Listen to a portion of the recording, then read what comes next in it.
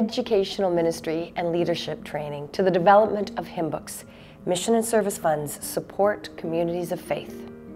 Today, I'm meeting with Jennifer Janzen-Ball, Executive Minister for Theological Leadership, to discuss how mission and service supports our community of faith leaders.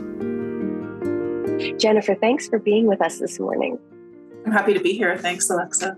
How does mission and service support um, provide leadership in the church and globally? In terms of theological education, Mission and Service provides funds in a few different ways. One is through candidate aid bursaries, which go directly to people who are studying for ministry in, in all three streams of ministry.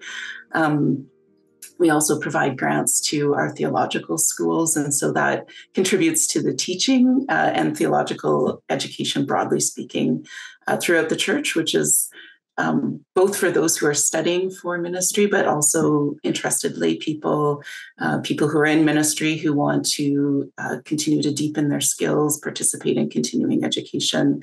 Uh, so, so mission and service contributes directly to, to those options for people. What are the challenges in in the theological education today? And and maybe a second part to that is is how are we helping to address those?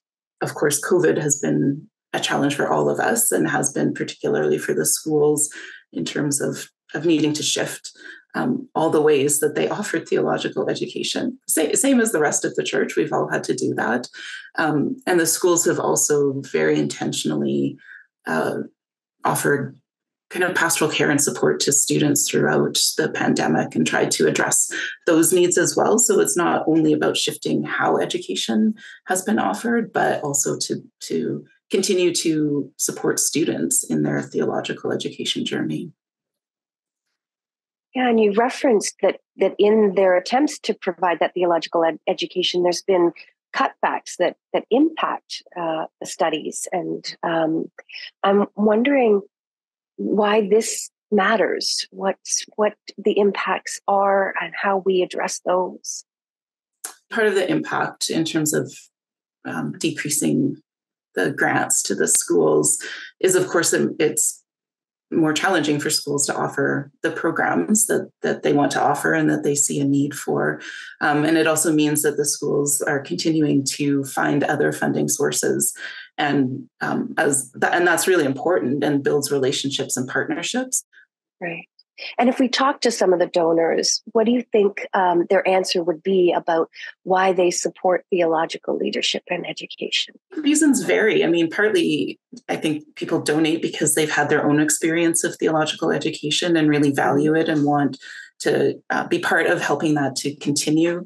Um, I think others in congregations see the value in terms of the education that their minister has had and the way the minister is able to uh, walk with them in their faith journeys. Um, and still others, um, I think, just value various ways of, of educating people and, and want to contribute to that. When I was director of the designated lay ministry program, just to say too that when candidates receive bursaries, the money is really helpful.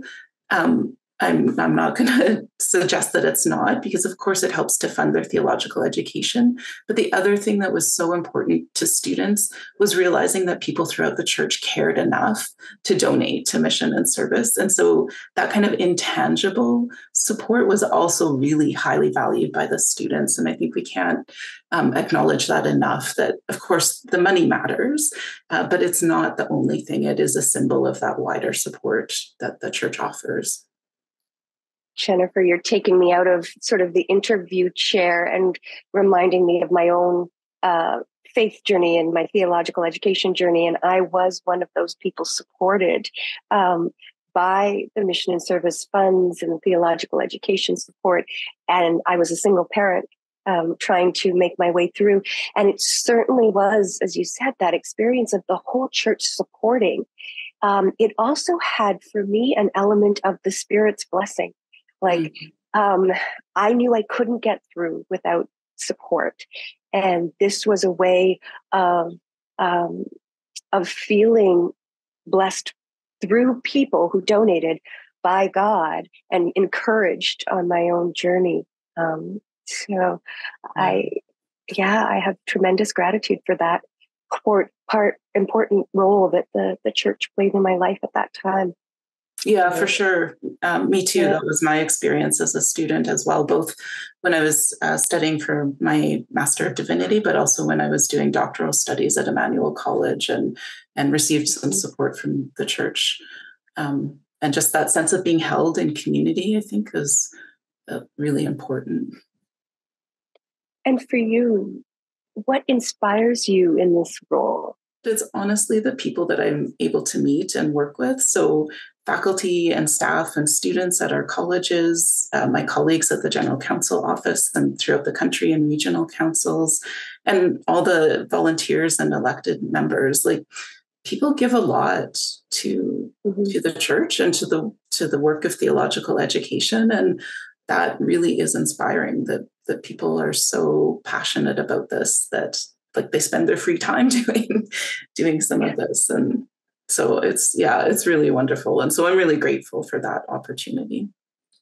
How does theological leadership impact the people outside of the church community? Sometimes we're not always aware of of how we're impacting others outside the church community. Um, but i think in in so many ways both lay people and ministry personnel are engaged in their communities in all in all kinds of ways, but often in terms of seeking partnerships and being able to work together with other organizations um, to see what the need is more broadly speaking and to figure out how the church can contribute.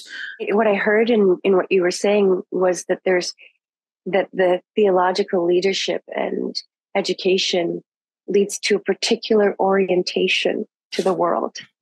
That uh, you know engages us in partnerships engages us in community work um, sees the neighbor and loves the neighbor as self. And if you were to just to take a deep breath in and then let it out and answer the question um, what would you want the listener to know and what would you be inviting them into? Like your gifts do matter. Um, they matter both tangibly in people's lives in a in a real way, but also, as I said earlier, in this intangible way, because the gifts signaled the support of the wider community, the care of of people who are strangers to one another potentially. The importance and the impact of that i, I think can't be overstated. And so um, it's a real opportunity to uh, help support somebody who might be a future minister certainly a future leader in the church and a current leader in the church as well um, that that those gifts to the Mission and Service Fund really do make a significant difference, no matter what the size. Thank you, Jennifer. It has been both personally um, very moving to go back to my own days of theological education and to be reminded once again of many people that surrounded me at that time and to be reminded of how this gift through mission and service keeps on going um, and the kind of enduring legacy that something like uh, the theological leadership provides. So, thank you so much for giving us some time today. It's been really good to talk with you. Your gift for mission and service will help remove barriers to educational leadership and will remind students that they are uplifted by their community.